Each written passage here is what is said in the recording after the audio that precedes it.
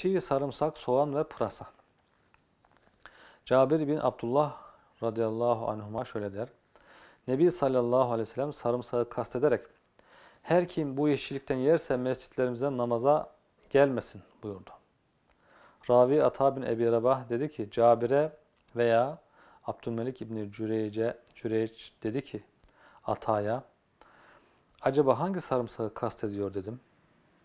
Yani rivayet böyle raviden raviye nakledildiği için bu soruyu soran ravi kimdir? Burada ihtilaf edilmiş.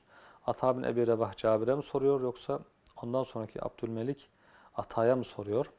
Çok önemli değil. Hangi sarımsak kastediyor dedim. Zannıma göre sarımsağın ancak çiğini kastediyordu dedi. Çiğ sarımsak. Pişmiş olursa o kadar kokusu olmaz.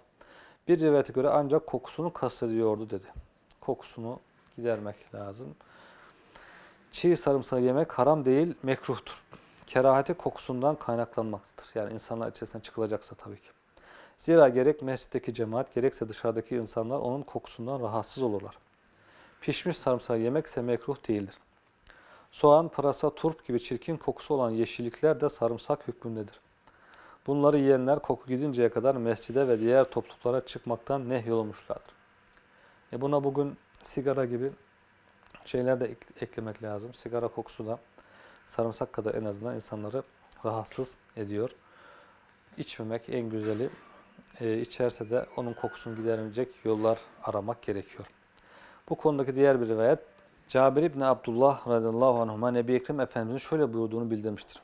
Her kim sarımsak veya soğan yerse bizden veya mescidimizden uzak dursun ve evinde otursun. Nebi Ekrem Efendimizin yanına içinde taze sebzeler bulunan bir tencere getirilmişti. Allah Resulü sallallahu aleyhi ve sellem onda bu hoş olmayan bir koku duydu. Tencerenin içinde ne olduğunu sordu. Kendisine orada hangi sebzelerin bulunduğu söylendi. Bunun üzerine yanında bulunan bir sahabisine işaret ederek ona götürün buyurdu. O sahabi de Efendimizin böyle yaptığını görünce onu yemek istemedi. Yani Efendim kendi yemedi bana gönderdi. Acaba bende bir kusur mu var gibi. Bunun üzerine Resulullah sallallahu aleyhi ve sellem sen bundan ye. Zira ben senin konuşmadığın kimselerle yani meleklerle baş başa konuşuyorum, münacaat ediyorum buyurdu. Bana Cebrail aleyhisselam geliyor, vahiy getiriyor. Melekle konuşuyorum, onun için yemiyorum. Sen böyle bir melekle görüşme durumun olmadığı için bu sebzeleri yiyebilirsin diye Efendimiz ona söylüyor. Buradaki münacat orada bulunan insanların görüp iştemeyeceği şekilde meleklerle konuşmak demektir.